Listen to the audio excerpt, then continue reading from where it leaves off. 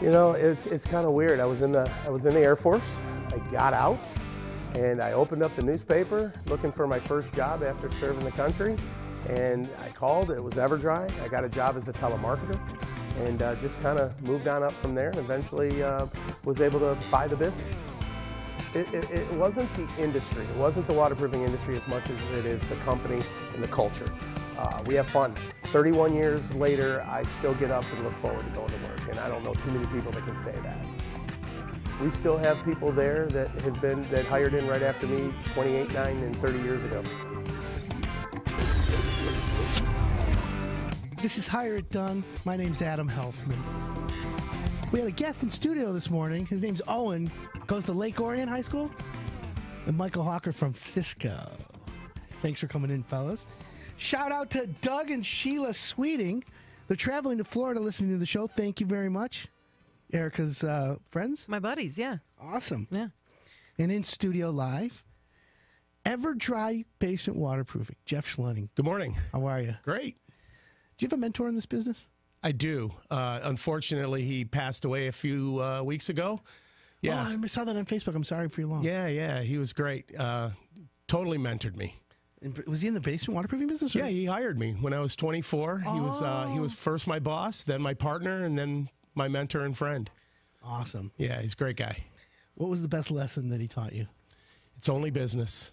Don't take it nothing. Don't take anything personal. It's just business. Ok- Okay, so that like a like a, a knife in my chest because I can't separate business and friendship. It just doesn't work for me. Well, it's- not just business and friendship. It's it's just business in general. Like the lady in Huntington Woods, right? Mm-hmm. It's just business. Ooh, Right? You had Just to bring business, her up, right? I hope she's listening.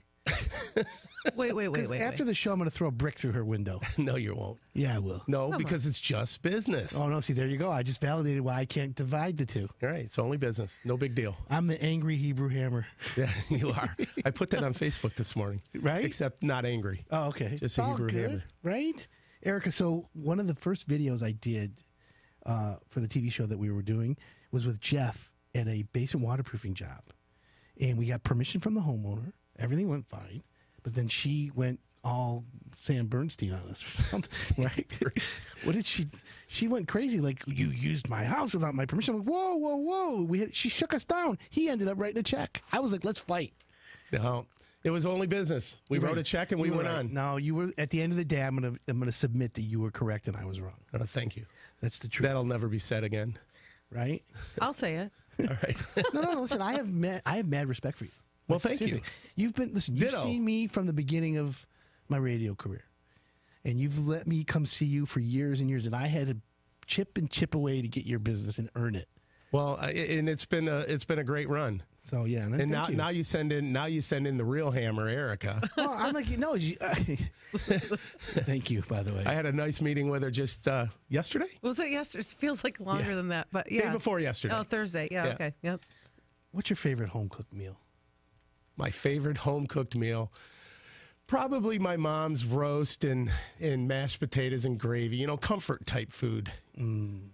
You use it w- so your mom makes the roast. Yeah, but I can do it. Yeah. Really? You use an instant pot, or you just you No, slow no, no, no, no. I'm addicted to my instant pot. Have you tried an air fryer? No, I Amazing. I- 'cause you know the word fry means oil to me. No. and if I can't use oil, I ain't frying. There, you put a little oil in there, just not like a like you Not- don't submerge it in oil. Yeah, my mom has one. She loves it. Are they that good? Yeah, they're great. A lot healthier. Oh, healthy. I've, I've trimmed off about, I don't know, half a pound since I started using it. See, can't hurt. well, it's all about what you put in your mouth. There you We all go. Know that, You and I both know that. right? I can't. I'm addicted to food. So You I are. can't stop. Just and if you wonder, just follow his Facebook page. You'll see. Yeah. Well, Yeah. I mean, I will say working with Adam is great because we have amazing lunches. Yeah, you eat well. Yeah, we do. Yeah, I bet. it's really nice. it's an obsession, but it's. Tr- I actually been. Uh, I've been diagnosed with food addiction. Because they, they ask you a question like, okay, at breakfast, are you thinking about your next meal? I'm like, yeah, how'd you know? They're like, up, check. But, or if you like, you know, for me, hey, we're going to the Red Wings game. It's not about the Red Wings game. It's about where are we going to dinner. Right, right. You know, okay, I'm going to sneak a pizza at the game. However, before we're going to eat, are we going to eat after? What, you know, you're trying to figure out how to like maneuver, Right. you know, or if it's late night, are we going to Lafayette? It's it's a struggle. The struggle is real. totally, it is totally real. and I wouldn't even know if I owned a restaurant like you guys, I would go ballistic. Yeah, no, it's it's How often do you eat at your restaurant? um, it's not mine, it's my wife's, but Okay, I, uh. I I I ate there yesterday, and uh, not often. They're far away. Okay, so, so it's a little bit of a know, hike for you. Yeah, it's a bit of a drive. So, but Okay. Dogs, cats, or none? dog, You have a dog? I do. Kind? Uh, a Maltipoo. You know, the dog that years mix. ago was a mutt, and now you pay a fortune for. Maltese poodle, All right. So what's the, what's your dog's name? Brady. Brady. Brady. Is that a, is that a boy? yes, it is. Hold on. Did you get Brady because of U of M? Anything? No, no, no. It didn't have anything to do with that, actually. Okay. Uh, are you sure? I swear. Yeah. Okay. I swore I'd never have a little white lap dog. They brought home a little white lap dog, and uh, him and I are thick as thieves. The best, right? Yeah, absolutely. So How- we're talking with. how- uh Oh, go ahead. oh, I was, how old is the dog? Eight. Eight. So you now you're really buddies, right? So you've had all this time to develop this relationship. Right. I didn't want a dog. We're, we were on the run too much, but my son had to write a paper in school when he was 12, and uh, and he wrote a paper about why you should have a dog, and you know, You said that was his first sales. yeah, yeah, he could He sell. closed. Yeah, he closed the deal. Where's he at now? He's at U of M, All a right. junior.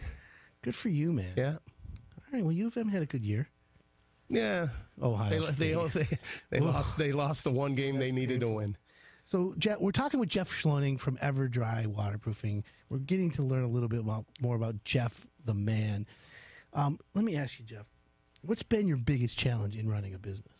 Without a doubt, um, dealing with municipalities, Really? inspections, things like that. We were just talking about this at the Home Improvement Council, and um, at least anecdotally, it seems that um, the codes have been being applied inconsistently across the municipalities. What What are some of the other things? I mean, is that recent or has that happened since get- you started? No, it gets worse every year. Uh, you know, you know, as you know, Adam, there's a lot of people out there that have a truck and a hammer and a toolbox, and they call themselves a contractor. They're not insured, they're not licensed, they don't pull permits. And I feel that the cities should be working hard to go after those guys. Guys like me, we pull our permits, we get our inspections, we're the ones paying the bills. Just you know, work with us. Do You you know, think they're Just tr- maybe they're trying to go after those guys, but it ends up catching uh, everybody, even the ones who will follow the rules? Sure. And, you know, there's a lot of turnover, if you will. So one inspector says this is what he wants. We've been there 30 years, right? Doing work in the city 30 years. And every time a new guy comes in, there's a new interpretation of the code. And then we got to change everything we do. It's, uh, it's brutal. It's Yeah. really Now, tough. How do you translate that problem or that little bit of thorn in your side to the homeowner? Well, unfortunately, time is money. And there's a cost to doing business. So if we're working on a job and we have an inspection set and they show they don't show up, and then the next day he's in a class, and the next day, uh, you know, I mean, inspection you'll wait days, and guys are standing around, you know.